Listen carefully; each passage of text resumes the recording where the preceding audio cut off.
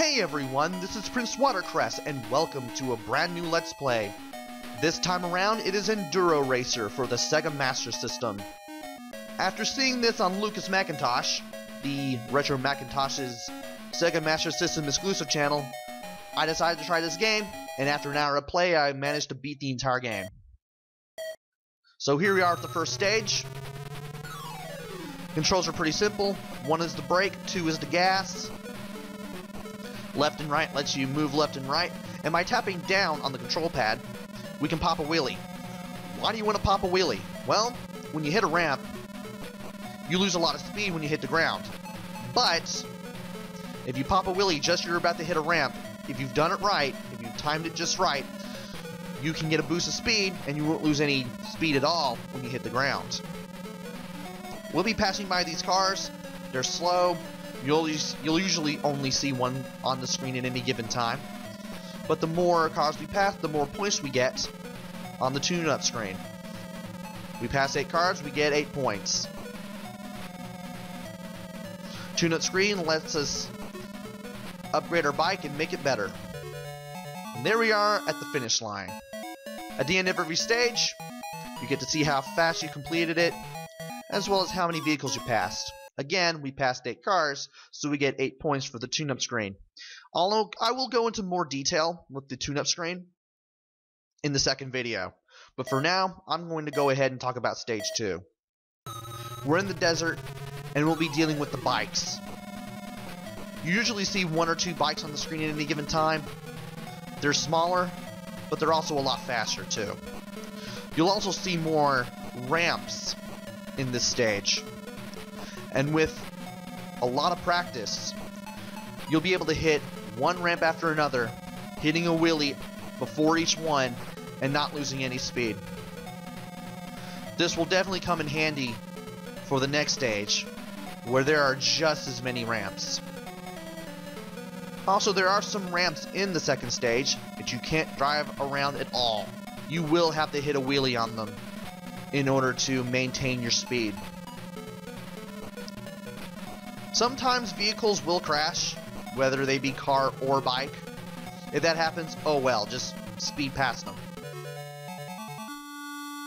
I finished this stage with 29 seconds left. You start every stage with 60, and because I finished stage 2 with 29 seconds left, those 29 seconds will be tacked on to the 60 seconds I start stage 3 with. So I have 89 seconds on the clock. 60 that I start out with, plus the 29 that I ended stage 2 with. The timer is on the upper left, if you couldn't tell. And on the lower right is the amount of damage you've taken and your current speed. Now you're going to be dealing with the cars again on stage 3. And you'll also have a lot of ramps too.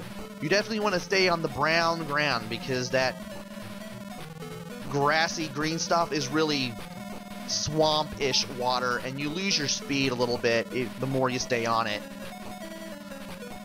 As long as you're able to pop wheelies on all these ramps, as many ramps as you can hit, you'll have no problem getting through this stage with time to spare. Just don't run into the bushes or the cactuses.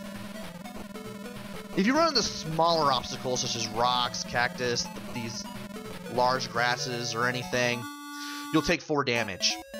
And if you crash into a car or a vehicle or anything on the side of the road that's like pretty big, you'll take 10 damage. If you reach 99 damage, the timer on the upper left corner of the screen will go down twice as fast, and it will be a lot easier for you to fail and if the timer hits zero, your game is over. You're going to have to start from the very beginning. Now we're in the real swampland. You want to stay on that light green ground whenever possible.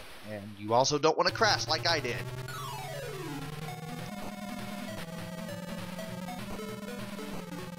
Because that's that dark sea green colored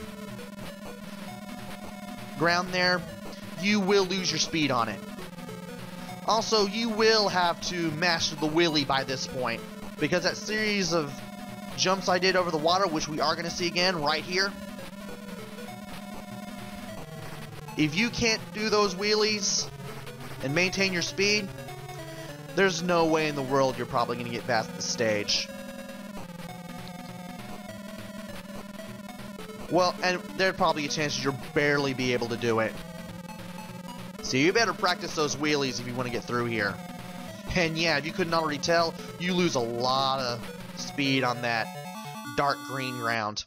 Also, if you land the water, you will be unable to move for a couple of seconds. You don't want to run into the water too much or else you're not going to make it.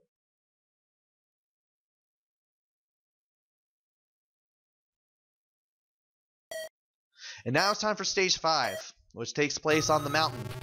This is obviously the hardest of the five stages. Because the track gets pretty narrow at times. And it is easy to have tunnel vision around here.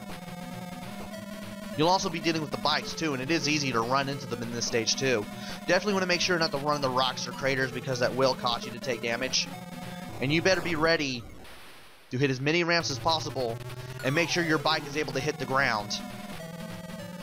Because the bike, not the bike, but the roads sometimes get very narrow and take up only the left side of the screen, like right here. And you definitely want to be able to make it through there or else you're going to lose some time. Because crashing costs precious seconds. So watch the road, don't run in the rocks, don't run in the craters, definitely don't run in the other bikers. At least he crashed too, so that serves him right for being in the way. And just try to take as little damage as possible through the game. And that is it for the first five stages. Next time, we go through the first five stages again for 6 through 10, and I talk about the tune-up menu. Until then, this is Prince Watercress. Take care, stay safe, and thanks for watching!